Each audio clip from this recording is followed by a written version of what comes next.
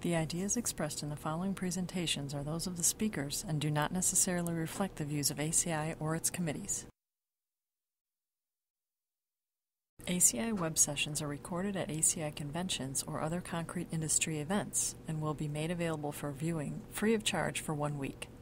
Thereafter, they will be archived on the ACI website or added to ACI's online CEU program, depending on their content. You can earn continuing education credits through ACI's online CEU program. Visit www.concrete.org to register. ACI conventions provide an opportunity for networking and for keeping up to date with the latest in concrete technology and practices.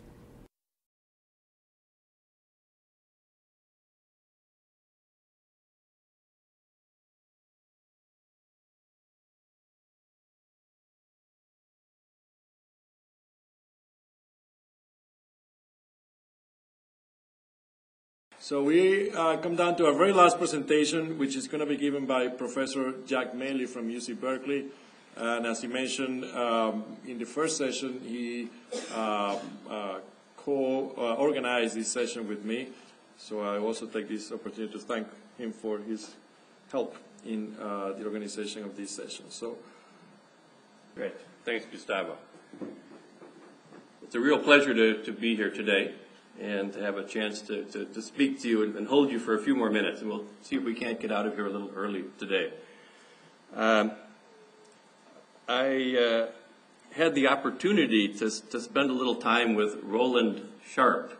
I spent some time talking with uh, Roland and uh, remembers the time very well and it was for him a wonderful time uh, to be working in the earthquake engineering field. And he relayed a lot of uh, interesting things to me. You know, he, he said uh, at the time that Mete and he uh, are the only two survivors, and I think that's correct. The only two survivors who uh, whose names are shown up here. Uh, and Roland recalls it as a time when we were young and frisky and had lots of energy. I, I don't know. I wasn't there then. Um, Roland gives a little bit of his own history, which is kind of interesting to, to hear. Uh, he, he says he joined John Blume Associates as an engineer in 1950. Uh, in the mid 1950s, uh, the Air Force retained Blume and uh, Roland uh, and others at Blume's company, I'm sure, to consult on seismic and explosive effects on underground concrete missile silos. And uh, Professor Newmark was a senior consultant and was in charge of uh, the various meetings uh, that were held at the time. And according to Roland, uh, in that period uh, was when uh, he really developed a, a, close relationship working with Nate Newmark. leading to really lifetime friendships and cooperation among the, the three of them, as, as recalls it Newmark, Blume, and Sharpe. Uh, in any case, uh, Roland has a few other interesting stories he tells, and I'll, I'll move on with my own presentation here.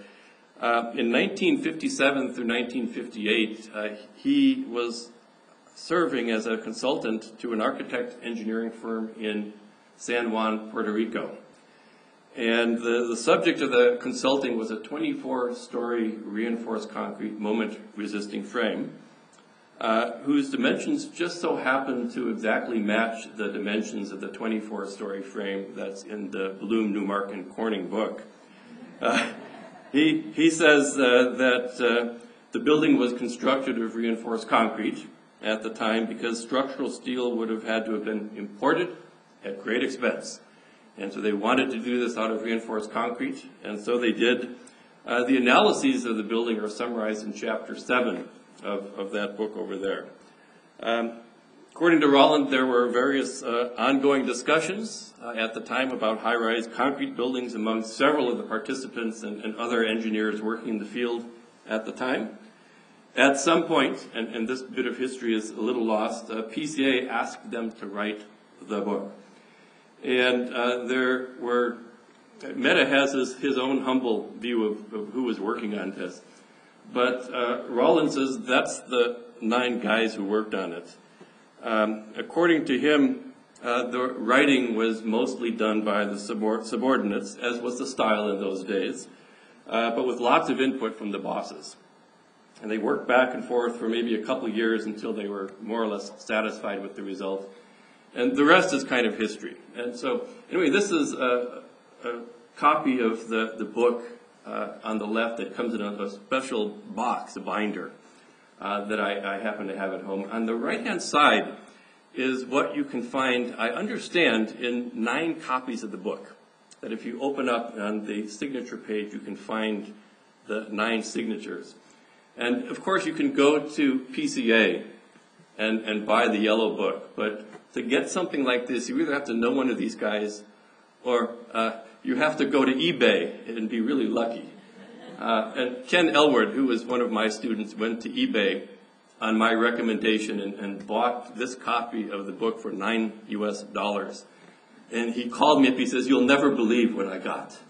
So he got one of the nine. It says, In mutual appreciation of the sincere cooperation in the preparation of this book, and it's Blume with Sexton and Sharpe, uh, Newmark, Siess and Sozen, Corning, Parman, Sparunas. And Mete, you can uh, claim this is correct or incorrect. I don't know. This is what Roland Sharpe tells me. Anyway, being the last speaker at one of these uh, occasions, one doesn't really know what will have been said before, so I put everything in I could think of. Uh, but we'll skip through lots of it. Uh, as has been noted, you know, there's a lot of remarkable things in this book. And uh, I have to get my computer woke back up. But anyway, capacity design, which has been claimed to have come from elsewhere, seems to have come out of a, a different source. And you know, the earliest capacity design, as I understand, was written in this book. Mete tells me it came out of other things, though, related to uh, trying to figure out the shear in pre-stressed concrete beams with wheel loads. I, I don't know. Mete will have to tell that story sometime. Uh, but capacity design was there, confinement, uh, beam column joint construction was different from how we ended up with it, but it was it was there. It was quite interesting. Now, uh, when the book came out, and shortly thereafter, uh, Roland Sharpe tells me that SEAOC was interested in it, uh, but it was not immediately adopted. It, it wasn't hailed as, a, hey, this is the great success, we're going to run with this. There was a lot of suspicion. Uh, some of the big shots of the day, I'm told, including Henry Degenkolb, who was, I think, a steel guy, uh, he made some comments, and others made comments. Uh, quote, will double the cost of concrete construction, unquote. Quote, can't be built, unquote. Uh, this must have come a little later. Quote, beam column joints have too much reinforcing, unquote. Uh, quote, designers will need twice as much time to design, unquote. Sound familiar? Every time there's a code change, we hear it. Uh, anyway, as, as a, a, result of this, it took a little while for this to be adopted into the, the structural engineer's practice. Uh, lots of discussion, some years. Uh, according to Roland Sharpe, this was really an impetus for doing a lot of the research that we've heard from others uh, here today. Uh, the structural engineers said you've got to verify that this is going to work and that we need to do this. And so a lot of research got started as a result of this. And so accelerated uh, learning as well as uh, presenting results. Now, uh, the SEAOC Blue Book, we've seen this before, the, the notion that you had to have a ductile frame uh, was perhaps one of the drivers. I also had heard the story Mete said about Los Angeles, although I couldn't find it in fact uh, as I was doing studies for this presentation. But the 63 Blue Book essentially said it's got to be a steel frame or the equivalent. And so the Blume Newmark Corning book was uh, quite handy to have uh, if you needed to do it in concrete. By 1965, the Blue Book had pretty much adopted most of what we know about ductile concrete design today. I hate to say it, uh, but it had uh, confined concrete. The properties for the reinforcement were pretty well spelled out. Uh, beam reinforcement ratios, splice locations, anchorage provisions, uh, capacity design for shear web reinforcement was, was all there. Uh, laps had been moved to the mid-height, not quite the same as what they were in the BNC book. Uh, joints had pretty much come uh, of their own, and uh, column to beam strength ratios by then were introduced. So not everything was in the Blume Newmark Corning book, but it got a lot of discussion going, and it really moved these things forward. Uh, some proof of this. Uh, this is a slide. It was probably a transparency at the time, if you remember what those were, uh, that came out of the uh, seminar on high-rise design of buildings in 1967. And if you look at the details that are shown in this drawing, it's remarkable. Uh, I would be happy to be in any building designed to this today. In fact, probably happier than most buildings designed today. Um, because you know, these things were designed and built with care, and everything's there that you really would think that you need, and maybe more of it then than what we put in sometimes today. So by 1967, engineers were learning this, and the field of concrete design had changed on the West Coast forever. Um, I thought I would do a little exercise of what has happened in the American Concrete Institute code practice, so this uh, code provisions, uh, then to now. And uh, it's a little tedious, but kind of interesting in some of the detail. The PCA book had confined concrete. Uh, the expression for the area of the hoop, this is probably too small, I apologize. Uh, but if you translate the equations that were in the original book uh, in essence, the, the expectation was that a rectangular cross section was only about half as effective for a given volume ratio of confinement as a spiral. They didn't know one way or the other. It was a good guess. Uh, research done since then, the coefficients changed from 0.45 to 0.3. So now we guess that it's about three quarters as effective as a good spiral if it's well detailed, but not much else has changed. Uh, beams. Uh, we saw some of the provisions earlier for beams. Uh, by 1983 in the ACI code, uh, we essentially had all the provisions in place that uh, we have today, with the exception that nobody ever imagined that you'd build a special moment frame with beams that are 48 inches deep. Well, now we build them because of the, the heights we're going to and the fact that we concentrate the framing in very few lines. And when you get to a 48 inch deep beam, like the thing on the right, uh, what controls the spacing of the hoops is 12 inches. And it doesn't look good and it doesn't work so well. So there were some changes recently implemented. Uh, beam column joints changed tremendously. Uh, we didn't know back then, and uh, things have changed uh, quite a bit over the years. But really, by 1983, we had in place in our ACI code all the same things that we have today uh, minus a few little details get added here and there. The six-fifths number, I don't know where that came from, uh, other than a guess that the column should be stronger than the beam if you wanted the beam to yield more than the column usually. Some recent studies that I won't show here have been looking at probabilities of collapse for buildings as you vary that strength ratio. And it turns out the turning point is right about 1.2 uh, that the probability of collapse goes way down suddenly. And so you can go to stronger and stronger columns, but you don't get a lot of extra safety out of it. It turns out the sweet spot is right about 1.2 in, in many cases. So there's a little bit of that magic that Terry Paret mentioned. Where did it come from? I don't know. Shear walls, uh, as Sharon uh, talked about and others, changed dramatically. Uh, by 1965, boundary elements were in uh, the UBC had them in 1973. ACI had picked them up by 1983. By the way, 1983 is an important date to remember. Uh, by 1995, a different approach had been implemented, which is still current today. Uh, an easy thing to do for a one-minute slide is to count the number of pages in the seismic chapter of the ACI building code. So I counted them. Minus the definitions and uh, the terminology. In 1963, the number of pages was zero. Um, by 1970, it was up to seven, and they were in an appendix, Appendix A. Um, the Sozen years as the chair of ACI 318H started then, and by 1983, that date I mentioned, uh, the code had moved from Appendix A into the main body of, the, the seismic had moved into the main body of the code, which was an important thing to happen. I don't know why, Mete, you doubled the length of the code. What were you thinking? It was now 16 pages long. And now, of course, it's, it's taken off. It's like 48 pages, and I don't know what's going on there. We've got to control H, because it's getting too difficult. It's the chair. Okay.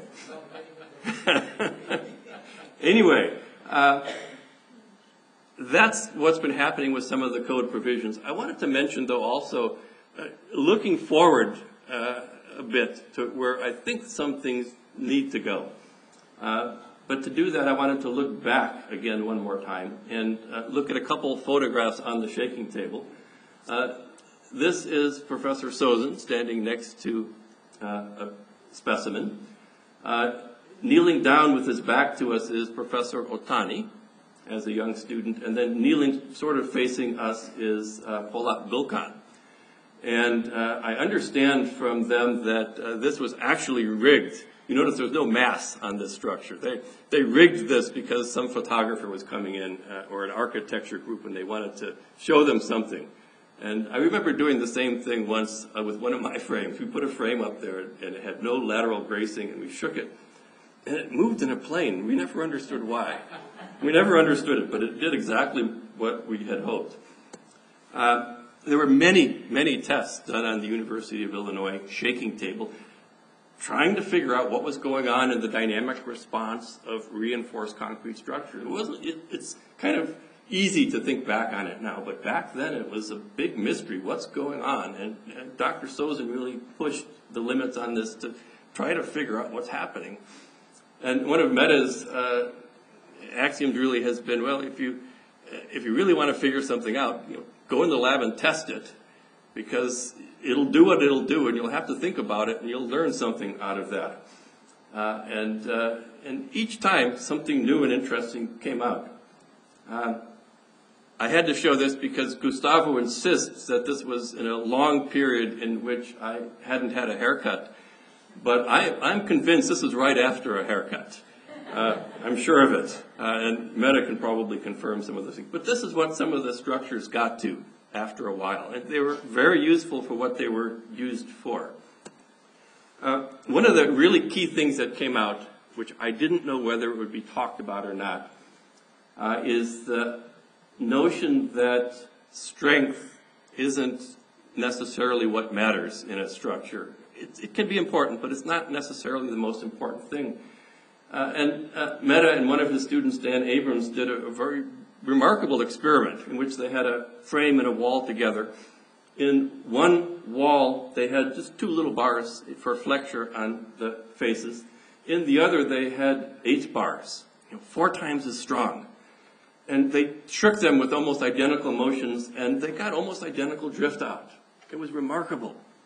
And some 30 years later, I, I, I keep hearing about a test, a full-scale test on a slice of a building in Southern California where they proved the same thing. Uh, but here it is, uh, as a nice demonstration of it. Well, and so Mete was, was always one who was concerned about asking the right questions. And I saw this in the title for his presentation. It's about asking the right questions. I remember one presentation, I think it was in Costa Rica. Maybe, I don't know if Guillermo Guillermo's here or not at the moment, but I think it was in Costa Rica where Mete presented a slide, something like this, and he says, well, we've got to quit thinking about earthquake engineering as a problem of figuring out what's the force that a beam has to resist. You know, the elastic force divided by an R factor and all. He says, quit worrying about that. What we need to do is think about the earthquake engineering problem is a beam being subjected to an irresistible force and being forced to move to a displacement that you can predict.